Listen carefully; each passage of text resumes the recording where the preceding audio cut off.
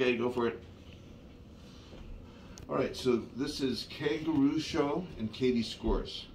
So Kangaroo Show, we still go to the two black keys near middle C, but our left hand two finger is going to play three times by itself, and then together, and then it goes down. So it goes like this. Kangaroo Show, and rainbow down. being so low. Well, that's what you just hit together. Okay? Mm -hmm.